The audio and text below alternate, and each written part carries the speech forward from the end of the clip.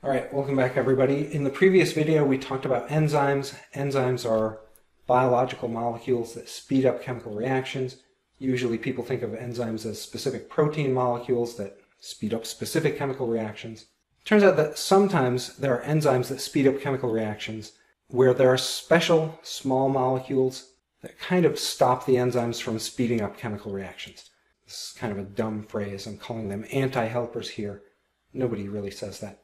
Usually a molecule that stops an enzyme from speeding up a chemical reaction is usually called an enzyme inhibitor. So here's the definition of an enzyme inhibitor, a molecule that prevents an enzyme from catalyzing whatever chemical reaction it catalyzes. There are two kinds of enzyme inhibitors. First kind is called a competitive inhibitor. The other kind, believe it or not, shocker, it's called a non-competitive inhibitor. Competitive inhibitors work like this. So let's pretend this is our enzyme, and I'm going to keep this very simple. There's our enzyme.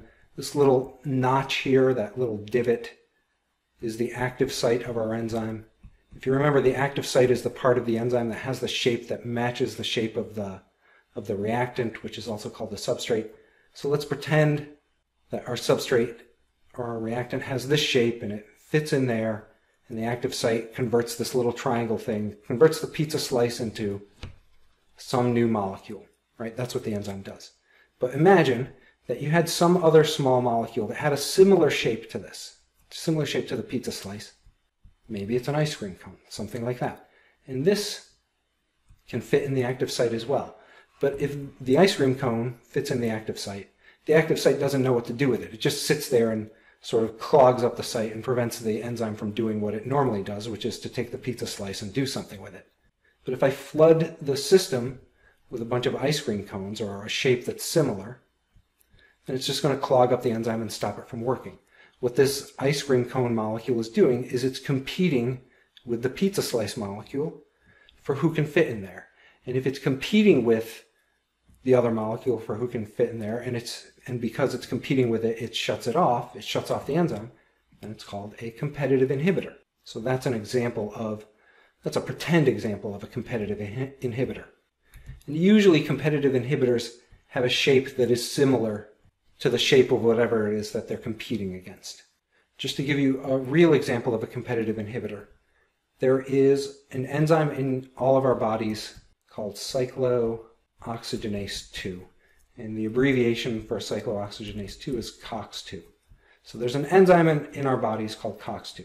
And I forget the exact reaction that it catalyzes, but pretend it's kind of shaped like the one before and it's got that little weird shaped active site. There's some molecule that our bodies make that can go into the active site, and the COX2 enzyme can take that molecule and convert it into some new molecule. Again, I don't remember what the new molecule is, I don't know what the reactant is, I don't know what the products are whatever the new molecule is, it makes us feel pain.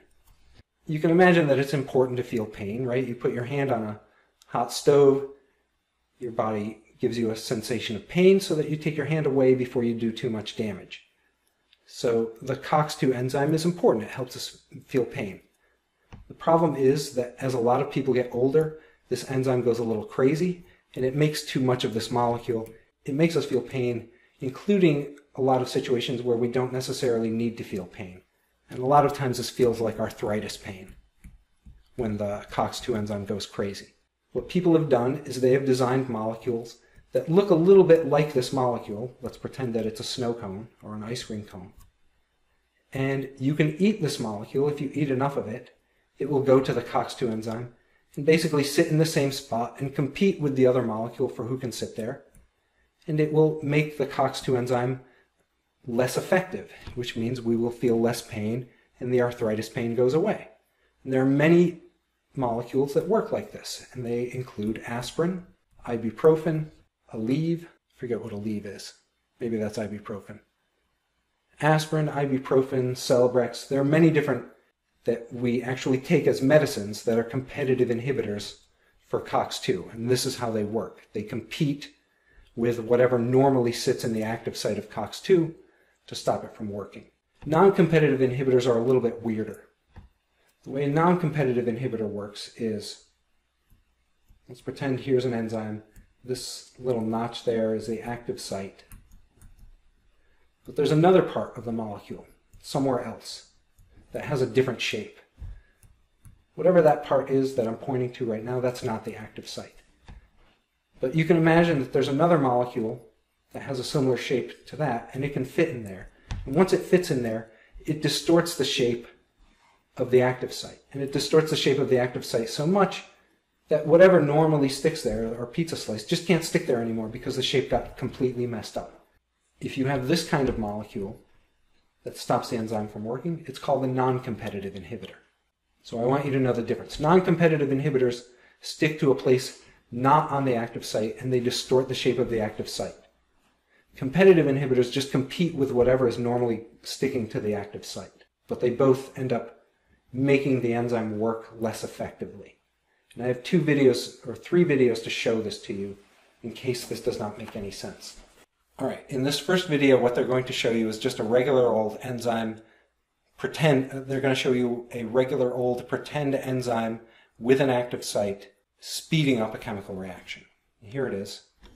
During the normal enzyme catalytic cycle, the substrate encounters an enzyme with a specific active site to which it binds, forming an enzyme-substrate complex.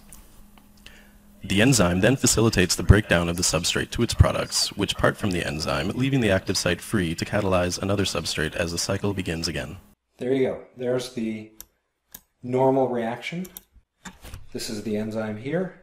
This is the reactant or the substrate. And this little carved out shape here, that's the active site. Now in the next video, they're going to show you what a competitive inhibitor does. Competitive inhibition occurs when an enzyme encounters a block.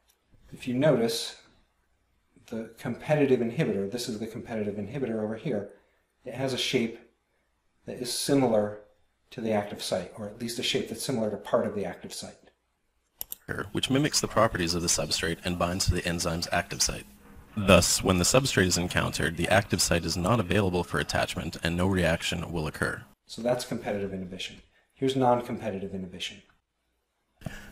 Non-competitive enzyme inhibition involves the binding of a blocker to the enzyme away from the active site. This binding causes a conformational change in the enzyme, altering the shape of the active site, which prevents the substrate from binding. No reaction will occur as long as a non-competitive blocker is bound to the enzyme. Just in case you're confused, conformational change just means change in the shape of the molecule. And that's non-competitive inhibition. So that's it. As far as this material, there is a lot of material, things that you should know. You should know the general features, the chemical structures of amino acids. You should know where the amine group is, the carboxylic acid group, side chains, etc. You should be able to recognize different amino acid side chains as long as you can consult your book. You should know what an enzyme is. That's a biological molecule that speeds up a chemical reaction. You should know what protein denaturation is. That's when the protein unfolds and doesn't do whatever it's supposed to do. Should know what optimum temperature is. You should know what pH optimum is and what it can tell you. You should know what competitive and non-competitive inhibition is. You should know what primary structure means when you're talking about protein molecules. You should know that there are different categories for amino acids. There are hydrophobic ones, hydrophilic ones.